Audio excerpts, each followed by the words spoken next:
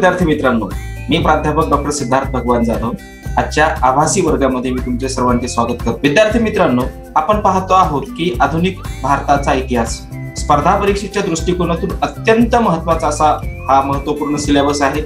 यापूर्वी आपण चार व्हिडिओ बघितलेले आहेत. हा अभ्यासक्रमाच्या संदर्भातील व्हिडिओ हे तुम्हाला सगळे व्हिडिओ दिसत आहेत जे अभ्यासक्रमाच्या संदर्भातले आहेत आणि काही मल्टिपल चॉईस पद्धतीने बनवलेले काही व्हिडिओ आहेत.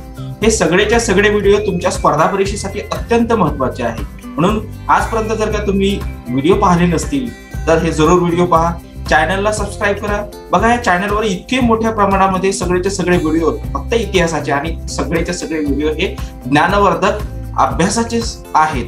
आणि इतकंच नाही तर या व्हिडिओच्या डिस्क्रिप्शनमध्ये काही महत्त्वाच्या गोष्टी देखील तुम्हाला दिलेल्या आहेत. जसं की याची पीडीएफ फाईल तुम्हाला दिलेली आहे किंवा काहीच एमसीक्यू पद्धतीचे जे काही गुगल फॉर्ममध्ये प्रश्न आहेत ते दिलेले आहेत.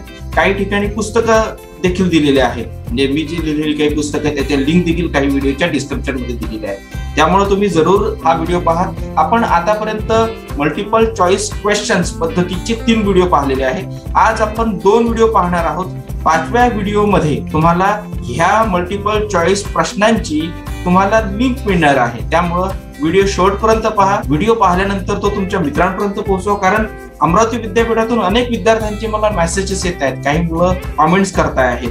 किंवा काही मुलं त्या संदर्भात माहिती मागतायत की सर याचं स्पष्टीकरण आम्हाला अधिक समजलं नाही. एक चंद्रकांत लांडे नावाचा अमरावतीचा विद्यार्थी फार गुणी मुलगा आहे. त्याने त्याला व्हिडिओ पूर्णपणे पाहिला आणि त्याला जे काही प्रश्न पडले त्या पद्धतीने त्याने मला विचारलेलं दिसून येतं. आणि म्हणून अशा पद्धतीचे जे तुम्ही देखील काही कॉमेंट्स करा जेणेकरून तुम्हाला कोणत्या पद्धतीचं माहिती पाहिजे याची माहिती मला त्या ठिकाणी मिळेल. मागच्या तासाला आपण पाहिलं होतं साधारणपणे नव्याण्णव प्रश्नांची चर्चा मागच्या तासाला आपण केलेली आहे. आता त्या नव्याण्णव प्रश्नांच्या पुढे आपण जातो आहोत. आणि मागचा व्हिडिओ हा याच्यासाठी उत्कृष्ट बनलेला होता कारण त्याचे चित्रमय इतिहास तुम्हाला इथे खाली दिसत होता. या सगळ्या गोष्टींची नोंद आपण घेतलेली त्याचा चित्रमय इतिहास तुम्हाला खाली त्या ठिकाणी दिसत होता. आणि त्यामुळे तो विषय समजण्याकरिता फार उपयुक्त ठरत होता. मी देखील हा व्हिडिओ तसाच बनवण्याचा प्रयत्न करतो पण कधी कधी कॉपीराईटचा इश्यू निर्माण होऊ शकतो. पण त्या सगळ्या गोष्टी आपण वगळून आपल्या विषयाला आपण सुरुवात करतो आहोत. तैनाती फौजीची संकल्पना कोणी अस्तित्वात आणली? तैनाती फौजीची संकल्पना लॉर्ड वेलस्लीने अस्तित्वात आणलेली आहे. किंवा तैनाती फौज ही कन्सेप्ट मुळात कशी आहे ही एकदा समजून घेण्याचा प्रयत्न करा. आपल्याला माहिती आहे की ब्रिटिशांनी भारतामध्ये साधारणपणे प्लासीच्या लढाईपासून म्हणजे सतराशे सत्तावन्नपासून तर एकोणीसशे सत्तेचाळीस पर्यंत राज्य केलेलं आपल्याला दिसून येतं. सुरुवातीला भारतात ज्यावेळेस ब्रिटिश आले त्यावेळेस ते व्यापाराच्या अनुषंगाने आलेले आपल्याला दिसून येतात. आणि व्यापार करता करता त्यांनी राज्य हस्तगत केलेलं आपल्याला दिसून येते. आणि म्हणून त्यांनी भारतामध्ये विस्तारवादाचं धोरण ज्यावेळेस स्वीकारलं त्यावेळेस त्यांनी तैनाती फौज किंवा खालसा धोरण किंवा कायमधारा पद्धती महसूल पद्धतीच्या संदर्भात वेगवेगळ्या नवनवीन गोष्टी अस्तित्वात आणल्या आणि हळूहळू करता करता सगळा डोंगर पोखरावात अशा पद्धतीने संपूर्ण भारतावर राज्य त्यांनी निर्माण केलेलं दिसून येते. तैनाती फौज ही कन्सेप्ट लॉर्ड विल उभी केलेली आहे. आपल्याला माहिती आहे की भारतामध्ये अनेक त्या काळामध्ये छोटे छोटे छोटे राज्य होते आणि त्यांचं आपापसामध्ये बेबिना होता आपापसामध्ये पटत नव्हतं. आणि म्हणून वाद नेहमी होत होते. पण ब्रिटिशांनी एक नवी कन्सेप्ट आणली. त्यांनी काय केलं की त्यांचं सैन्य उभं केलं आणि हे सैन्यांना विशिष्ट प्रकारचा गणवेश विशिष्ट प्रकारचे बूट विशिष्ट प्रकारची हॅट दिली आणि त्या सैन्याची अशी विशेष अशी काळजी घेतली आणि असं खडं सैन्य उभं केलं. त्या तुलनेमध्ये भारतीयांचं सैन्य कसं होतं याचा हा एक संशोधनाचा वेगळा विषय होऊ शकतो कारण पूर्ण फुल टाइम सैनिक ते नव्हते. आपल्याला असे संदर्भ मिळतात इतिहासामध्ये की काही काळ शेती करायची आणि उरलेला काळ हा त्या ठिकाणी युद्धासाठी जायचं. पण ब्रिटिशांचं मात्र तसं नव्हतं. ब्रिटिशांनी चोवीस तास तीनशे पासष्ट दिवस सैन्य उभं केलेलं आपल्याला दिसून येते आणि मग अशी तैनाती फौज त्यांनी राजांपुढे किंवा त्या काळातले जे संस्थानिक होते त्यांच्यासमोर दिली की आमचं हे तैनाती फौज जर का तुम्ही स्वीकारली तर तुम्हाला कोणत्याही प्रकारचा सैनिकावर खर्च करण्याची वेळ येणार नाही. उलट तुमचे जे काही शत्रू या शत्रूंबरोबर आम्ही लढू. आणि तुमच्या शत्रूपासून मुक्तता करू अशा प्रकारचं धोरण त्यांनी ठेवलं. पण त्यासाठी त्यांनी काही अटी उभ्या केलेल्या दिसून येतात. जसं की तैनाती फौज जर काय एखाद्या शासकाने स्वीकारली एखाद्या संस्थानिकांना स्वीकारली तर त्यांचा वकील त्याच्या दरबारात राहील. कोणत्याही देशाबरोबर करार मदार तह करायचे असतील तर त्या वकिलाच्या सल्ल्याशिवाय करता येणार नाही. दुसरी अट तिसरी अट कुणाबरोबर मध्यस्थी करायची असेल तरीही ही मध्यस्थी त्या वकिलाच्याच माध्यमातून होईल. चौथी अट जर काय वाद निर्माण झाले तर ते वाद मिटवण्याचं काम तैनाती फौजेचा वकील करेल. पाचवी अट एकदा का तैनाती फौजेचा स्वीकार केला तर त्यानंतर तुम्हाला दुसऱ्या कोणत्याही शासकाबरोबर संबंध प्रस्थापित करता येणार नाही. इन द सेन्स कोणत्याही युरोपियन सत्तेबरोबर तुम्हाला हितोकुच करता येणार नाही मैत्री करता येणार नाही तह करार मदार करता येणार नाही. कारण त्या कालखंडामध्ये ब्रिटिशांचे प्रतिस्पर्धी कोण होते? तर सगळ्यात मोठा प्रतिस्पर्धी ब्रिटिशांचा हा फ्रेंच होता. किंवा नंतर पोर्तुगीज हे होते म्हणून तैनाती फौजेचा स्वीकार एखाद्या शासकाने केला तर त्याला त्यानंतर युरोपियन इतर व्यापाऱ्यांबरोबर संबंध ठेवता येणार नाही युरोपियन इतर सैनिकांबरोबर संबंध ठेवता येणार नाही अशा प्रकारच्या अटी त्या ठिकाणी लादलेल्या आपल्याला दिसून येतात. आणि म्हणून भारतामध्ये लॉर्ड वेलस्ली हे भारतात ज्यावेळेस आले त्यावेळेस त्यांचा कालखंड हा सतराशे अठ्ठ्याण्णव ते अठराशे पाच या दरम्यानच्या काळात लॉर्ड विलस्ली हा भारतामध्ये गव्हर्नर जनरल म्हणून होता. त्याच्या डोक्यातून ही कल्पना आलेली आपल्याला दिसून येते. आणि त्याने सतराशे अठ्ठ्याण्णवमध्ये तैनाती फौज सतराशे अठ्ठ्याण्णवमध्ये पहिल्यांदा सुरू केली. आणि भारतामधला सगळ्यात पहिला संस्थानिक तैनाती फौज स्वीकारणारा जर कोण असेल तर तो आहे हैदराबादचा निजाम. महत्वाची गोष्ट इथून पुढे सुरू होतं. तैनाती फौज स्वीकार केल्यानंतर तुम्हाला त्या तैनाती फौजेच्या खर्चाच्या खातर कॅश स्वरूपात काही रक्कम द्यावी लागेल. अन्यथा काही भूभाग तुम्हाला तोडून द्यावा लागेल. तैनाती फौजेचा निजामाने सतराशे अठ्ठ्याण्णवमध्ये स्वीकार केला. आणि सतराशे अठ्ठ्याण्णवमध्ये स्वीकार केल्यानंतर त्यांना ती फौजेचा खर्च त्याला देणं अशक्य झालं. म्हणून अठराशे त्रेपन्नमध्ये त्यांनी अकोला अमरावती यवतमाळ आणि वाशिम हे बुलढाणा पाच जिल्ह्यात हे ब्रिटिशांना दिलेले आहे. अठराशे त्रेपन्नमध्ये. आणि अठराशे त्रेपन्नपासून आपण निजामाकडून मुक्त होऊन ब्रिटिशांकडे जोडल्या गेलो आणि पुढे त्यालाच सीपी अँड बेरार असं म्हटलं गेलेलं आहे. मध्य प्रांत ज्याला आपण म्हणतो. म्हणून ब्रिटिशांच्या आधुनिक गोष्टींचे इम्पॅक्ट सरळ सरळ विदर्भावर पश्चिम विदर्भावर झालेले आपल्याला दिसून येतात. म्हणून या ठिकाणी दोन तीन प्रश्न निर्माण होऊ शकतात. तैनाती फौजीची सुरुवात कोणी केली? तैनाती फौजीची सुरुवात लॉर्ड वेलस्टीने केली. लॉर्ड वेलस्टी भारतात गव्हर्नर जनरल म्हणून केव्हा होता? सतराशे अठ्ठ्याण्णव ते अठराशे पाच या दरम्यानच्या काळात लॉर्ड वेलस्टी हा गव्हर्नर जनरल म्हणून होता.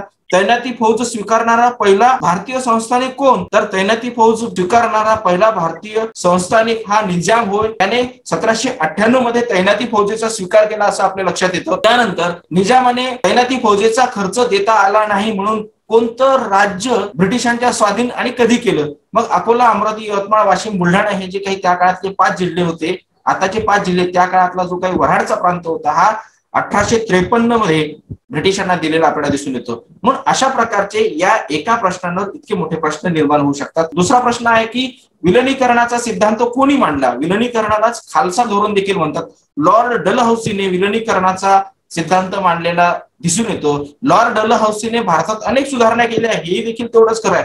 लॉर्ड डलहौसीच्याच काळात पोस्ट उभं राहिलं. लॉर्ड डलहौसीच्याच कालखंडामध्ये रेल्वे भारतामध्ये अठराशे त्रेपन्नमध्ये मुंबई ते ठाणे आलेली आपल्याला दिसून येते. त्यानंतर लॉर्ड डलहौसी हा अठराशे चाळीस ते अठराशे छप्पन या कालखंडात गव्हर्नर जनरल म्हणून होता. आणि लॉर्ड डलहौसीने खालसा धोरण जे राबवलं त्या धोरणाची परिणिती म्हणजे काय? तर अठराशे सत्तावन्नचं पहिलं स्वातंत्र्य समर किंवा अठराशे सत्तावन्नचं पहिला स्वातंत्र्य लढा आहे. इतिहासामध्ये अठराशे सत्तावन्नच्या बंडाला वेगवेगळ्या नावात उल्लेखल्या जातात. मागच्या काही व्हिडिओमध्ये याची पूर्ण कन्सेप्ट मी तुम्हाला समजून सांगितली की इतिहास लिहत असताना मार्क्सवादी इतिहास सबाल्टन इतिहास वसाहतवादी इतिहास आणि राष्ट्रवादी इतिहास प्रवाह अशा प्रकारचे वेगवेगळे विचार प्रवाह आहेत. आणि या विचार प्रवाहातून इतिहासाची मांडणी होत असते म्हणून अठराशे सत्तावन्नच्या उठावाकडे काही इतिहासकार शिपायाचे बंड म्हणून त्याला उल्लेख तर काही लोक शिपायांची गर्दी असे म्हणतात काही लोक शिपायांचं बंड असे म्हणतात काही लोक स्वातंत्र्याचं पहिलं समर असे म्हणतात तर काही लोक अठराशे सत्तावन्नचा उठाव असं म्हणतात. म्हणून विलनीकरणाचा सिद्धांत कोणी मांडला? तर विलनीकरणाचा सिद्धांत लॉर्ड डलहौसीने मांडला. लॉर्ड डलहौसी हा अठराशे चाळीस ते अठराशे ते अठराशे छप्पन या दरम्यानच्या काळात भारतामध्ये गव्हर्नर जनरल म्हणून होता. त्यानंतर भारतीयांना इंग्रजी भाषेतून शिक्षण देण्याची सूचना कोणी केली. लॉर्ड मेकॉले यांनी भारतीयांना इंग्रजी भाषेतून शिक्षण देण्याच्या सूचना केलेल्या आपल्याला दिसून येतात आधुनिक शिक्षणाचे जनक जर का कोणाला इंग्रजीचे म्हणत असतील तर ते लॉर्ड मेकॉले यांना म्हणतात. कारण लॉर्ड मेकॉले यांनी भारतीयांना इंग्रजी भाषेतून शिक्षण द्या असा आग्रह धरला. त्याचं असं म्हणणं होतं की भारतीयांचं जे काही फारसी भाषेतून आणि संस्कृत भाषेतून दिल्या जाणारं शिक्षण आहे हे फारसं काही उपयोग नाही आहे. उलट त्या तुलनेत तुम्ही इंग्रजी भारतीयांना शिकवा. वास्तविक पाहता यामागे त्याचा उद्देश हा भारतीयांना आधुनिक जगाबरोबर येणं हा नव्हता तर लॉर्ड मेकालेचा सिद्धांत हा भारतामध्ये इंग्रजी कार्टून बनवणे हा होता. पण बऱ्याच ठिकाणी असं झालं की इंग्रजी शिकता शिकता हे सगळे लोक आपल्या असं लक्षात येतं की ते आधुनिकीकरणाला त्यांनी स्वीकार केलेला आपल्याला दिसून येतो. आणि म्हणून आपल्या असं लक्षात येतं की लॉर्ड मेकॉलेनी आधुनिक शिक्षणाची परिभाषा इंग्रजीतून मांडण्याचा प्रयत्न केला.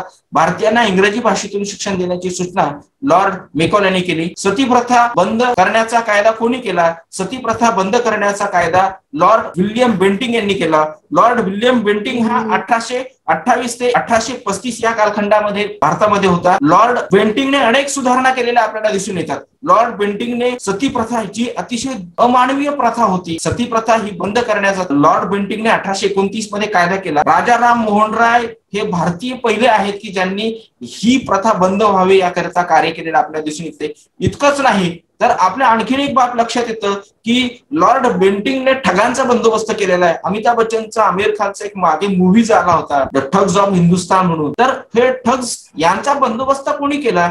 तर लॉर्ड बिंटिंगनेच केलेला आपल्याला दिसून येते. वेदाकडे परत चला हा संदेश कोणी दिला? स्वामी दयानंद सरस्वती यांनी वेदाकडे परत चला हा संदेश दिला. सत्यार्थ प्रकाश हा ग्रंथ कोणी लिहिला? सत्यार्थ प्रकाश हा ग्रंथ स्वामी दयानंद सरस्वती यांनी लिहिला. रामकृष्ण मिशन ही संघटना कोणी स्थापन केली? रामकृष्ण मिशन ही संघटना स्वामी विवेकानंदांनी स्थापन केली. नदी जोड प्रकल्पाचा प्रस्ताव सर्वप्रथम कोणी सादर केला? नदी जोड प्रकल्पाचा प्रस्ताव सर्वप्रथम डॉक्टर बाबासाहेब आंबेडकर यांनी स्थापन केला. वीज आयोगाची स्थापना कोणी केली? वीज आयोगाची स्थापना डॉक्टर बाबासाहेब आंबेडकर मजूर मंत्री असताना करण्यात आली. तर कोसी नदी जलविद्युत प्रकल्पाची योजना कोणी मांडली? कोसी नदी जलविद्युत प्रकल्पाची योजना डॉक्टर बाबासाहेब आंबेडकरांनी मांडली. डॉक्टर बाबासाहेब आंबेडकरांनी खोती पद्धत रद्द करण्याचे विधेयक कोणत्या विधिमंडळात मांडले? डॉक्टर बाबासाहेब आंबेडकरांनी खोती प्रथा बंद करण्याचं विधेयक मुंबईच्या विधिमंडळात मांडलेला आहे. थॉट्स ऑफ पाकिस्तान हा ग्रंथ कोणी लिहिला? थॉट्स ऑफ पाकिस्तान हा ग्रंथ डॉक्टर बाबासाहेब आंबेडकरांनी लिहिला. हिंदू कोड बिल कशाशी संबंधित आहे. हिंदू कोड बिल हे स्त्रियांशी संबंधित आहे. पण हिंदू कोड बिल हे स्त्रियांच्या वारसा हक्काच्या संदर्भात किंवा त्यांच्या सांपत्तिक अधिकाराच्या संदर्भात रुपयाचा प्रश्न कोणी लिहिला? रुपयाचा प्रश्न हा ग्रंथ कोणी लिहिला? रुपयाचा प्रश्न हा ग्रंथ डॉक्टर बाबासाहेब आंबेडकर यांनी लिहिला. ब्राह्मो समाजाची स्थापना कोणी केली? ब्राह्मो समाजाची स्थापना राजा राम मोहन राय यांनी केली. आर्य समाजाची स्थापना कोणी केली? स्वामी दयानंद सरस्वती यांनी आर्य समाजाची स्थापना केली. स्वामी विवेकानंदांचा मृत्यू कधी झाला? स्वामी विवेकानंदांचा मृत्यू चार जुलै एकोणीसशे दोन मध्ये झाला. स्वामी विवेकानंदाची कन्याकुमारी इथे ही दिसते तुम्हाला ही समाधी देखील त्या ठिकाणी आहे. आज मोठं पवित्र तीर्थक्षेत्र म्हणून या स्वामी विवेकानंदांच्या समाधीकडे पाहिल्या जाते. कायमधारा पद्धतीचे जनक कोण? कायमधारा पद्धतीचे जनक लॉर्ड कॉर्नवॉलिस हे आहेत. विद्यार्थी मित्रांनो मी तुम्हाला एक आनंदाची बाब इथे सांगतो की भारतामध्ये जेवढे काही गव्हर्नर जनरल आणि व्हाईसराय होऊन गेले त्याची एक पीडीएफ फाईल मी तुम्हाला त्या ठिकाणी त्या डिस्क्रिप्शनमध्ये देतो आहे. तो गव्हर्नर जनरल कोण होता त्याचा कार्यकाळ कोणता आणि त्याने कोणते काम केले या संदर्भातली माहिती तुम्हाला या व्हिडिओच्या डिस्क्रिप्शनमध्ये मिळणार आहे. त्यामुळे जरूर या व्हिडिओच्या डिस्क्रिप्शनमध्ये जाऊन गव्हर्नर जनरल आणि त्यांचे कार्य आणि त्याचा कालखंडाचं पीडीएफ डाउनलोड करण्यासाठी रिक्वेस्ट मला पाठवा. महालवारी पद्धतीचे जनक कोण? महालवारी पद्धतीचे जनक हॉल्ट मॅकेन्झी हे होते. हॉल्ट मॅकेन्झी यांनी इसवी सन अठराशे एकोणीसमध्ये महालवारी पद्धतीला प्रारंभ केला. उत्तर भारतामध्ये गंगा यमुना दुआबामध्ये गंगा यमुनाच्या दुआबामध्ये महालवारी पद्धत अस्तित्वात आलेली आपल्याला दिसून येते. रयतवारी पद्धतीचे जनक कोण? रयतवारी पद्धतीचे जनक हे थॉमस मुंड्रो हे होते. डिस्कव्हरी ऑफ इंडिया या ग्रंथाचे लेखक कोण? डिस्कव्हरी ऑफ इंडिया हे जे काही भारत एक खोज नावाचं पुस्तक पंडित नेहरूंनी अहमदनगरमध्ये ते ज्यावेळेस तुरुंगात होते त्यावेळेस त्यांनी हे पुस्तक लिहिलं की भारत एक खोज. त्यांनी त्यांच्या मुलीबरोबर केलेला संवाद आहे. इंदूला त्यांनी अनेक पत्र लिहिलेली आहेत. तुम्ही जर काय तुम्हाला जर काय वाचायला ते पुस्तक मिळालं तर जरूर वाचा. भारत एक खोज नावाचं मागे मला असं वाटतं नव्वदच्या दशकामध्ये एक दूरदर्शनवर सिरीज देखील आली होती एक सिरियल देखील आली होती की भारताचा इतिहास त्यांनी त्या सिरियलच्या माध्यमातून मांडलेला आपल्याला दिसून येतो. भारतीय राष्ट्रीय सभेची स्थापना केव्हा करण्यात आली? भारतीय राष्ट्रीय सभेची स्थापना अठ्ठावीस डिसेंबर अठराशे पंच्याऐंशी मध्ये मागच्या व्हिडिओमध्ये याची सविस्तर वर्णन आपण केलेलं आहे.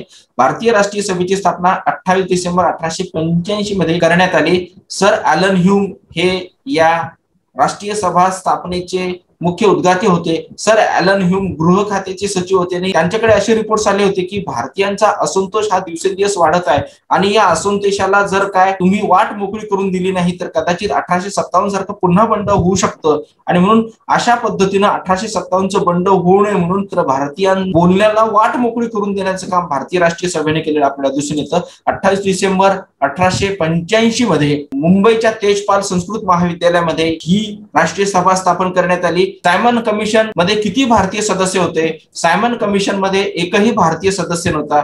बंगालचे विभाजन कधी करण्यात आले? बंगालचे विभाजन एकोणीसशे पाच मध्ये लॉर्ड कर्झनने बंगालचे विभाजन केलेलं आपल्याला दिसून येतं बंगालचे विभाजन करत असताना हिंदू आणि मुसलमान यांच्यामध्ये जी काही एकी होती ही युनिटी तोडण्याचं काम या बंगालच्या विभाजनानं केलेलं आपल्याला दिसून येतं भगतसिंग यांना फाशी केव्हा करण्यात आली? भगतसिंग यांना फाशी एकोणीसशे एकोणतीसमध्ये देण्यात आली. लाला लजपत रायांचा मृत्यू कधी झाला? लाला लजपत रायांचा मृत्यू एकोणीसशे अठ्ठावीसमध्ये झाला. असहकार आंदोलनाचे जनक कोण होते? असहकार आंदोलनाचे जनक महात्मा गांधी हे होते. एकोणीसशे एकोणतीसचे राष्ट्रीय सभेचे अधिवेशन कोणत्या शहरात भरले? एकोणावीसशे एकोणतीसचे सभेचे अधिवेशन लाहोर या ठिकाणी भरले. मिठाचा सत्याग्रह कुठे करण्यात आला? मिठाचा सत्याग्रह दांडी या ठिकाणी करण्यात आला. मिठाच्या सत्याग्रहाची सुरुवात कोठून झाली? मिठाच्या सत्याग्रहाची सुरुवात साबरमती येथून झाली. पुणे करार कोणी केला? पुणे करार डॉक्टर बाबासाहेब आंबेडकर आणि महात्मा गांधीजी यांच्यामध्ये झाला. पुणे करार कोणाकोणामध्ये झाला? डॉक्टर बाबासाहेब आंबेडकर आणि महात्मा गांधीजी यांच्यामध्ये पुणे करार घडून आला. जातीय निवाडा याची घोषणा कोणी केली? जातीय निवाड्याची घोषणा व्हाईसराय रेमसे मॅकडोनाल्ड यांनी केली. मुस्लिम लीगची स्थापना केव्हा करण्यात आली? मुस्लिम लीगची स्थापना एकोणीसशे सहा मध्ये करण्यात आली. भारत छोडो आंदोलनाचे जनक कोण? भारत छोडो आंदोलनाचे जनक हे महात्मा गांधी होते. लोकमान्य टिळकांचा मृत्यू केव्हा घडून आला? लोकमान्य टिळकांचा मृत्यू एक ऑगस्ट एकोणीसशे वीस रोजी घडून आला. काकोरी कट घटना कुठे घडली? काकोरी कट ही घटना लखनौ येथे घडली. टिळकांच्या मृत्यूनंतर राष्ट्रीय सभेचे नेतृत्व कुणाकडे आले? लोकमान्य टिळकांच्या मृत्यूनंतर राष्ट्रीय सभेचे नेतृत्व महात्मा गांधीजीकडे आले. नेताजी सुभाषचंद्र बोस यांचा जन्म कोठे झाला? नेताजी सुभाषचंद्र बोस यांचा जन्म बंगालमधील कटक या ठिकाणी झाला.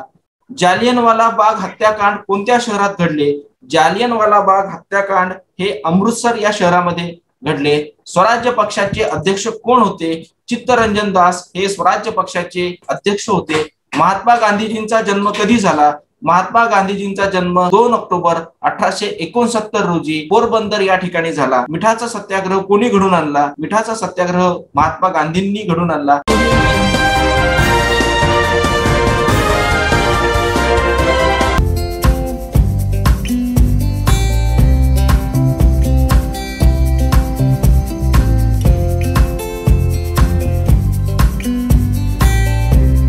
बंगालची फाळणी रद्द केव्हा करण्यात आली? बंगालची फाळणी एकोणावीसशे अकरा मध्ये रद्द करण्यात आली. भारत छोडो आंदोलनाची सुरुवात केव्हा झाली? आठ ऑगस्ट एकोणावीसशे बेचाळीस रोजी मुंबईच्या ग्वालिया टँक ह्या मैदानावरून भारत छोडो आंदोलनाची क्विक इंडिया मुवमेंटची सुरुवात झालेली आपल्याला दिसून येते. भारताचे अंतिम व्हायसराय कोण? भारताचे अंतिम व्हायसराय लॉर्ड माउंट बॅटन हे होते. राष्ट्रीय सभेचे पहिले अधिवेशन कोठे भरले? राष्ट्रीय सभेचे पहिले अधिवेशन मुंबई या ठिकाणी भरले.